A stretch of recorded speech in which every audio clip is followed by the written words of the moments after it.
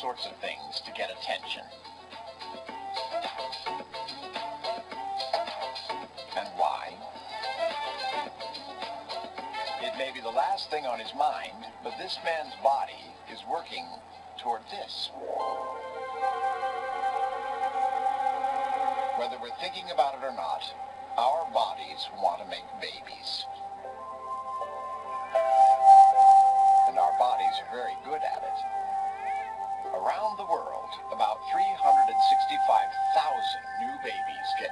every day.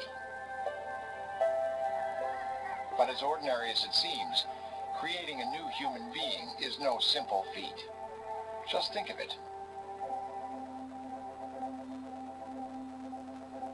No matter who you are, once upon a time, you looked like this.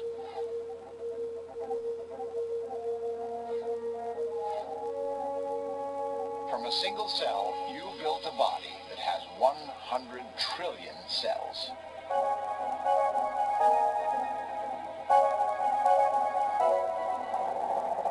You made hundreds of different kinds of tissues and dozens of organs, including a brain that allows you to do remarkable things.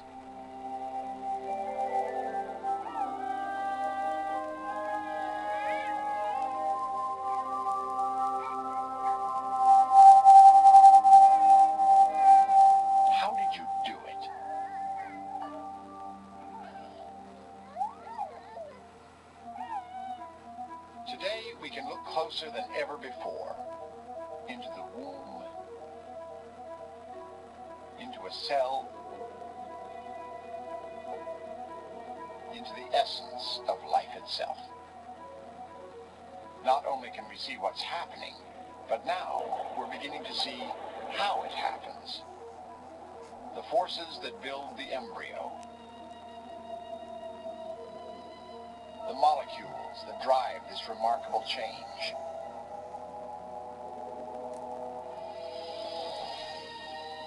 We're uncovering the most intimate details of how life is created. The secrets behind life's greatest miracle.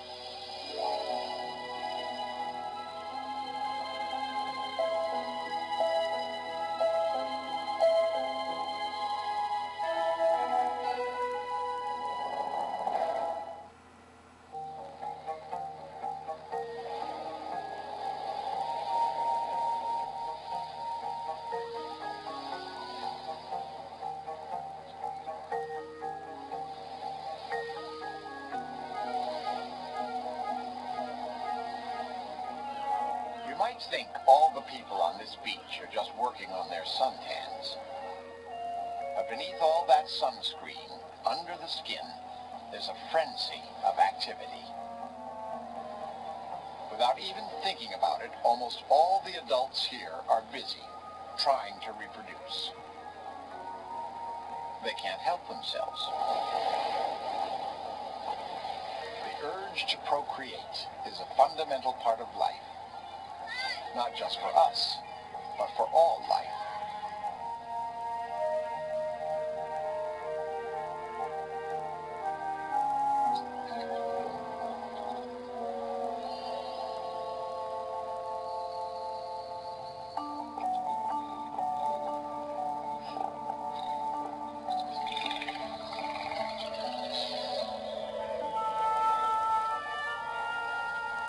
Why is this urge so universal? At least some blame can probably go to this. DNA. The molecule that carries our genes. The chemical instructions for building our bodies and keeping us alive. All wrapped up in a tiny, winding staircase. DNA has run the show for more than four billion years for one main reason. It's very good at making copies of itself. The copies can get passed to a new generation in a couple of ways. If you're a bacterium, you might be into cloning, making exact replicas of yourself.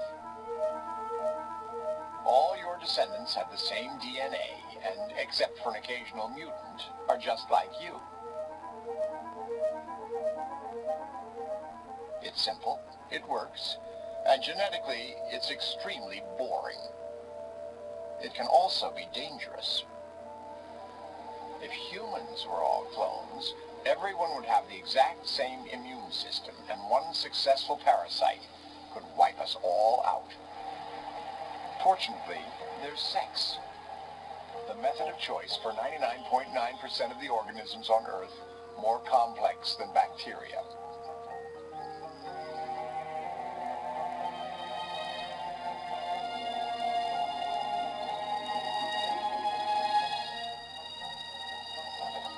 Sexual reproduction, two individuals each provide some DNA. Most animals put it into sperm or eggs. If the two can get together, a new being will be created, one that's different from its parents and everybody else. Where there's sex, there's variety.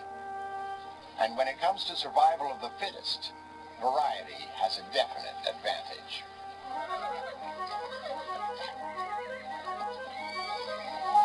All this comes at a price. Sexual reproduction may be popular, but it's also quite tricky. To get an idea of how tricky, just take a peek inside a man's testicle. It's packed with tiny tubes coiled into bundles. Stretched out, they could cover